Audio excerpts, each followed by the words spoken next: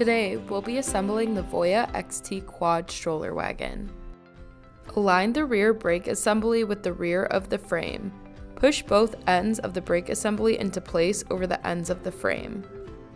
Insert an M6 by 30 bolt into the bottom hole of the brake assembly. Use a Phillips head screwdriver to tighten the bolts in place.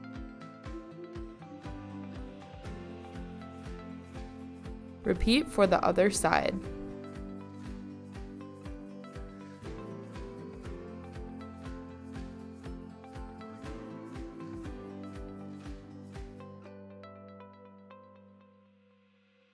Flip the wagon so the front is facing up. Slide the axle through the bottom holes of the brake assembly. Be sure to align the notch with the housing.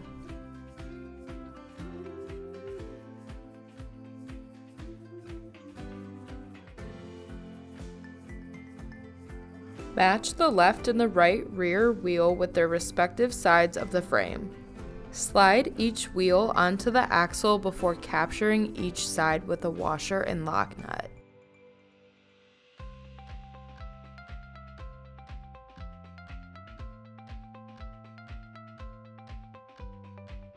Use the provided plastic wrench to tighten the lock nuts, securing the rear wheels into the frame. Align the three tabs on the red wheel cover with the three slots in the wheel.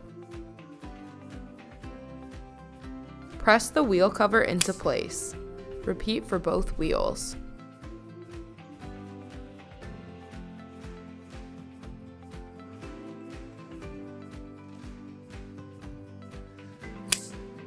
Match the front casters to their respective sides of the wagon. Firmly press the casters into place.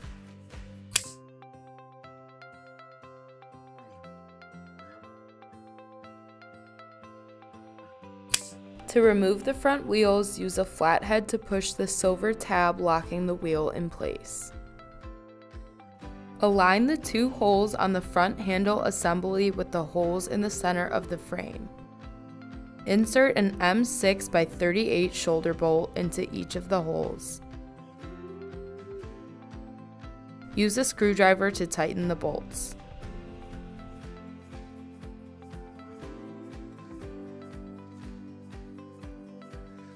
Set the wagon upright. Pull on the folding latch at the center of the frame and unfold the wagon. Install the storage bag by aligning the two hooks on the crossbar at the rear of the frame under the push bar. To unfold the storage basket, pull the straps free from the bottom corners. Push the panel with the tab down to create the floor of the basket. To remove the storage bag, pull up on both handles. To fold the storage bag, pull the tab to lift the bottom panel. Push the basket in towards the wagon and secure the bottom corners with the straps. To install the seats, align the two hooks on the back of the seat assembly with the crossbar at the top of the frame. Then, buckle the seat into the wagon body. To unfold the seat, undo both buckles at the front of the seat. Roll the seat cover up and store away in the zipper pouch behind the seat.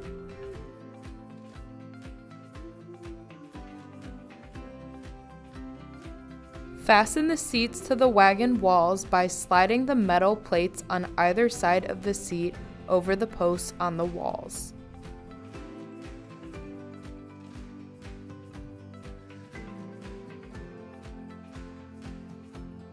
Repeat for the other side. Note, the seats are interchangeable and will fit on either side.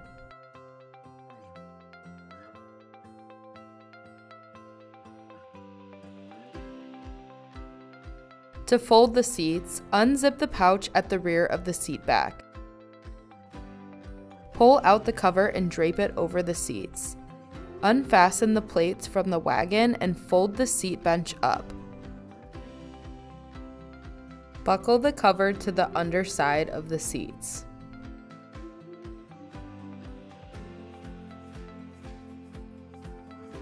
Assemble the two cup holders to any of the mounting locations on the four corners of the wagon. Slide the cup holder over the tab of the frame to assemble.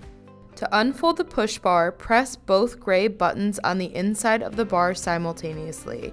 Rotate the bar into the desired position. To assemble the parent caddy, wrap the Velcro strap under the push bar just above where the leather hand grip ends. Feed the strap through the D-ring and secure the end back over the length of the strap. Assemble the canopies by aligning the slots with the mounting tabs on either side of the seat. Push them into place.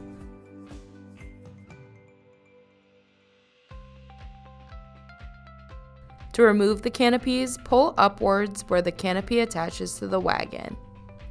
Pull the mesh panel behind the seat back before opening the canopies. The peekaboo window is magnetically held in place. Pull back to look inside.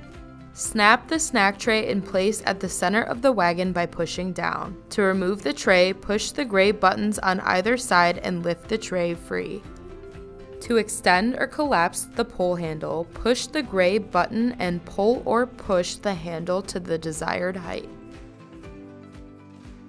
To engage the brake, step down on the brake bar. To disengage the brake, lift up on the bar. One mesh panel on each side of the wagon unzips so kids can climb in and out of the wagon.